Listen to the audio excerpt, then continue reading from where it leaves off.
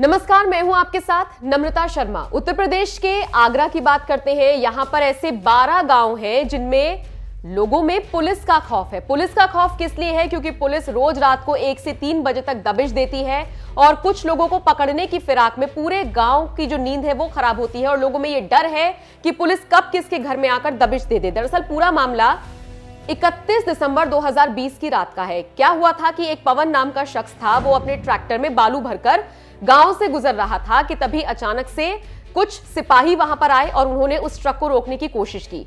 आनंद फानन में पवन ने उस ट्रक को भगा लिया, दौड़ा लिया और आगे जाके वो ट्रक पलट गया और इस हादसे में पवन की मौत हो गई। लिहाजा जो गाँव के लोग थे, उन्होंने पुलिस वालों पर गंभीर आरोप लगाए।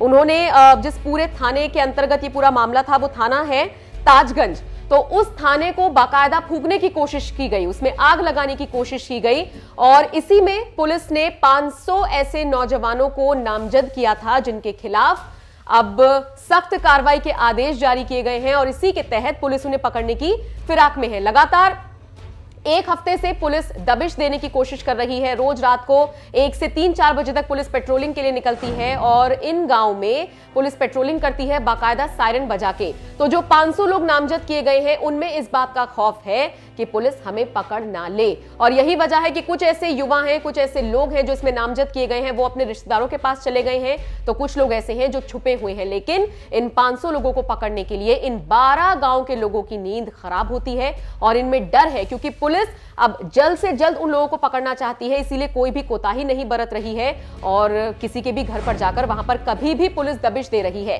यही वजह है कि लोगों के मन में एक डर का माहौल है। बता दें आपको, धानपुरा, तोरा, करबना, बुढ़ाना सहित 12 ऐसे गाँव हैं जिनमें पुलिस को लेकर खौफ देखा जा रहा है और ये पूरा मामला 31 दिसंबर का बताया जा रहा है, जिसमें पुलिस लगातार गिरफ्तारियाँ कर रही है। तो इन लोगों पर यह आरोप है कि इन्होंने शांति भंग करने का पूरी कोशिश की है। इसके अलावा इन लोगों ने आगजनी की है, पुलिस चौकी को फूंक दिया है और ऐसे में अगर किसी की जान चली जाती तो एक बड़ा हादसा भी हो सकता था। ये सब आरोप इन लोगों पर लगाए गए हैं और इसी के तहत पुलिस इन सबको पकड़ने की फिराक में है। बहरहाल, पुलिस को लेकर आगरा के इन 12 गाँव में जिस तरीके से भारी खौफ उसको लेकर और इस पूरी खबर को लेकर आपकी राय कमेंट करके हमें ज़रूर बताएँ।